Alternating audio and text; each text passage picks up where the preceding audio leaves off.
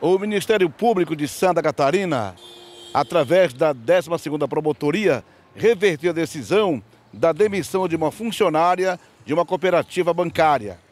O fato foi o seguinte: ela entrou em discussão com o seu ex-marido em frente à cooperativa. Ele não aceitava a separação, a estava perseguindo.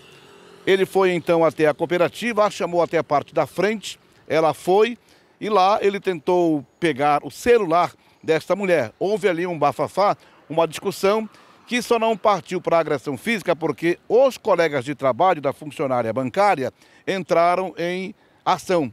Aquela conversa do deixa para lá, né? Apartaram essa confusão. Acontece que depois da confusão, ela entrou em contato com o Ministério Público pedindo medida protetiva para que este homem não se aproximasse dela.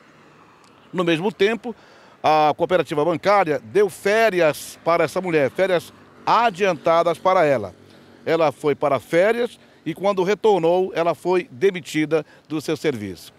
Isto posto, ela entrou em contato com o Ministério Público e argumentou a situação. O promotor entendeu que ela teria sido vítima duas vezes. Ela foi vítima quando foi agredida verbalmente pelo ex-companheiro e foi vítima também quando perdeu o seu emprego, até porque não havia motivo para ela ser é, descartada do serviço, para que ela fosse demitida.